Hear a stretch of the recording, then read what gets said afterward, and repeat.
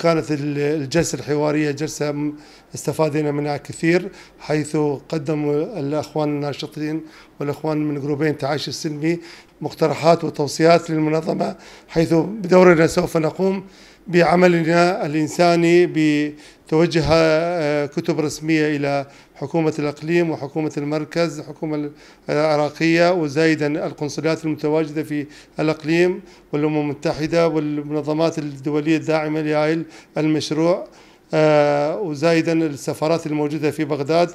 آه، نتمنى نتمنى التعاون من هاي الجهات بأن نستطيع أن نخلص خواتنا من داعش وأعوان داعش خلال هذه الفترة اللي سوف يكون تحرير نينوى قريبا إن شاء الله. الناجيات هي يعني البعض منهن أو البعض منهم لأن هناك أيضا من الأطفال وهناك أيضا من الرجال الذين هم لوحدهم يعني نجوا لوحدهم دون عائلاتهم أو ربما عائلاتهم قتلت أو ربما بقيت يعني أسرى أو مختطفين.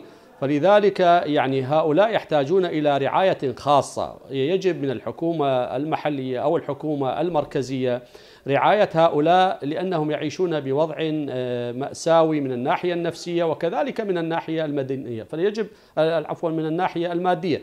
فيجب مراعاة هذا الأمر. كذلك لا بد من تثبيت أسماء هؤلاء كأن تصرف لهم هويات أو تثبت قاعدة بيانات لأسمائهم لكي لا تضيع حقوقهم مستقبلا. بجانب من الجوانب التعويض التي ستتخذها مؤكد يعني الحكومة المحلية والحكومة المركزية مستقبلا. الأمر الثاني فيما يخص المختطفات.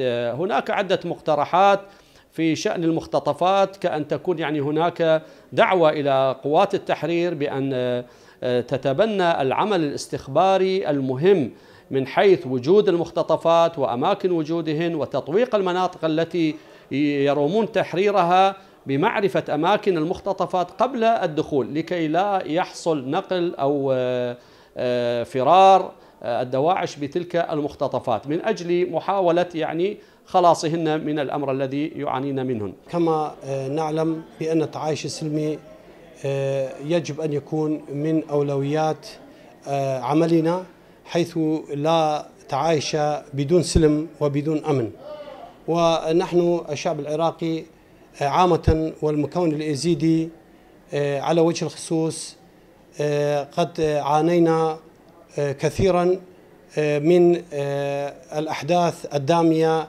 التي حدثت بعد سقوط النظام في العراق وخاصة بعد الهجمة البربرية الشرسة آه، على آه، قضاء سنجار آه، حيث كان الظلم الأكبر الذي وقع على المكون الإيزيدي وأيضا نود أن نشير بأن يجب أن يكون هناك قانون يسود على المجتمع ويحاسب كل من كان له دور آه، في عمل عصابات داعش الإجرامية سواء آه، مشاركة فعلية أو آه، مساعدة بأي شكل من الأشكال. تمخضت عنها الكثير من النقاط المهمة جدا.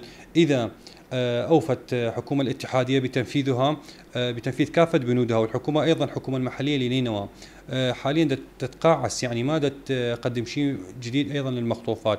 يعني حول إنه صرف الرواتب للمختطفات أو إقامة دورات تأهيلية نفسية وخلافه. هالشيء هذا لحد الآن يعني متأخر ما ما تقوم بتفعله بصورة صحيحة. ونرجو إن شاء الله من القوات الأمنية كافة القوات الأمنية بكافة مسمياتها من الجيش العراقي إلى قوات البيشمركة إلى كافة قوات الحشود أن تتخذ الدقة أثناء عملية تحرير المدينة، مثلا هناك هنالك حاليا أعداد كبيرة مئات أو يتجاوز المئات من المختطفات في الموصل، فنرجو من حتى من طيران التحالف أن يأخذ الدقة والحذر في ضرب الأهداف لأن هنالك دا لأن داعش يتخذ من المختطفات الإيزيديات كدروع بشرية يعملها في الموصل. صراحة هاي الدوره إذا نفذوها يعني كلش زينة بس ما نريد حكي ومو تطبيق وخاصه تحرير موصل. يعني أول شيء المختطفات أول شيء هو يعني النقطة المهمة والأساسية أن يحتفظون عليها. أهل الموصل كلهم يعرفون يعني واحد يعرف الثاني. بس إذا حكي وماكو فعل همينا يعني صعب. إحنا كم جلسات رايحين عليهم. هم يحشون بس ماكو تنفيذ. ومن المنظمات حقوق الإنسان همينا نريد يعني مساعدة من عندهم على مود الناجيات والمختطفات. هذول الناجيات هم بنا حالتهم حيل يعني مو يعني حالتهم حيل صعبة.